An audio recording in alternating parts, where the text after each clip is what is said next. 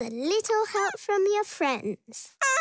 now all the Patchwork Pals are happy and there's nothing more to say. We could wait until tomorrow for another lovely day.